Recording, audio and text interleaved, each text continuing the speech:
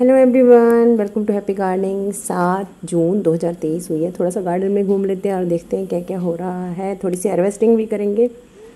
और बाकी के प्लांट्स कैसे हैं वो भी देखते हैं। नया क्या क्या हो रहा है, कुछ मैंने कटिंग्स वगैरह लगाई थी वो भी आपके साथ शेयर करूँगी। शुरुआत मिक्स प्लांट्स लगे हुए हैं। यहाँ पे स्पाइडर प्लांट है, बहुत सारे स्पाइडर के निकल रहे हैं। रनर्स जिनको बोलते हैं आम भाषा में, बोलचाल की भाषा में। और डॉग फ्लावर देखिए, आपने कुछ शीशो भंगजीरी के प्लांट्स हैं।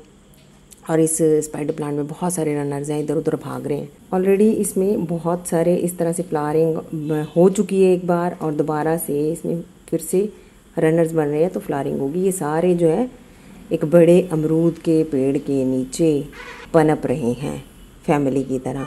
बड़ा डायमीटर वाला पॉट है तो उसमें है ये सारे। इसके बाद आगे बढ़ते हैं, ये डे लिली है। डे लिली एक ही दिन खिल रहा है। और ये देखो गर्मी ज़्यादा है तो इसकी जो पेटल्स हैं, वो साइड साइड से फेड होना शुरू हो गई है और सुबह खिलाए, शाम तक ख़त्म हो जाएगा। इसके पत्ते भी झुलसने शुरू हो गए हैं। और बाकी जो बर्ड्स बनी हुई हैं, वो तो खिलेंगी, अपना टाइम आने पे वो ज़रूर खिलेंगी। परसों जैसे मैंने वीडियो शेयर किया था, उसमें कहा कि कल दो फ्लार खिलेंगे तो सच में कल दो फ्लार्स खिले थे। और जो जो स्टॉक में फ्लावर्स खिलते जा रहे हैं, वो ड्राइड अप हो रही हैं। जितनी वर्ड्स हैं, वो सारी खिल रही हैं, उसके और ड्राई अप हो रही हैं। अभी आज इसमें एक फ्लावर खिला और कल फिर से एक फ्लावर खिलेगा। पिछले एक वीडियो में मैंने इस बेल को मॉर्निंग ग्लोरी बोल दिया, जबकि ये है अपराजिता की बेल, जो कि मैंने सीड से ग्रो की हुई है।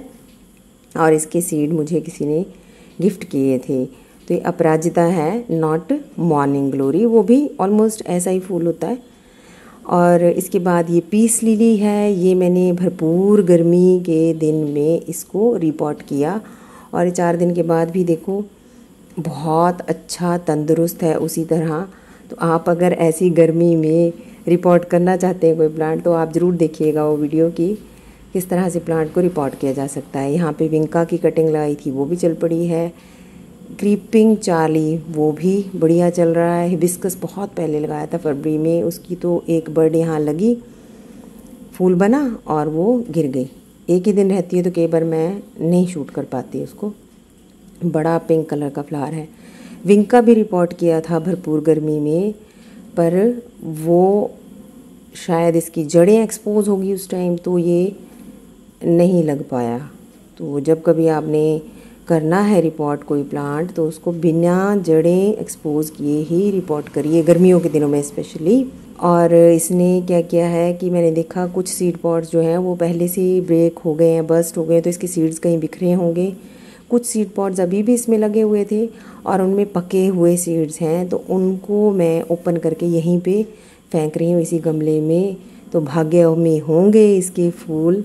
डार्क मजंटा सा जो कलर होता है ना, वो वाले फूल थे तो वो वाले फूल हमारे भाग्य में होंगे तो ये ज़रूर यहाँ पे जर्मिनेट हो जाएगा। तो इन सीड्स को मैं यहीं पर फेंक दूँगी। चलो, ये तो चांस की बात है, अगर जर्मिनेट हो गए तो अच्छी बात है। होपिंग फॉर द बेस्ट आगे बढ़ते हैं। मालाबार स्पिनेज की कटिंग लगाई थी, वो ठीक लग रही है, तंदुरुस्त लग रही है, ऐसा नहीं लग रहा कि गली हुई है। पर उसके सीड्स का अभी कोई नामो निशान नहीं, बहुत सारे सीड्स भी यहाँ पे फेंके थे। और मेरे व्यूअर्स ने मुझे बताया था कि वो पके हुए राइप सीड्स हैं। अब चलते हैं हम सेकंड फ्लोर पे, वहाँ पे पालक है और कद्दू की बेल को बाई चांस देख लिया मैंने तो वहाँ फूल बनने वाला। कल खिलेगा ज़रूर ये। और यहाँ पे भिंडियाँ बहुत सारी लगी हुई हैं। बहुत सारी नहीं है, तीन चार ही हैं। तो वो भी हार्वेस्ट कर लेते हैं, थोड़ी सी पालक, थोड़ी सी भिंडियाँ। और आगे बढ़ते हैं। आगे हैं थोड़े से टमाटर। दो तीन ही हैं, ज़्यादा नहीं है, क्योंकि ये वृद्ध हो चुके हैं पौधे।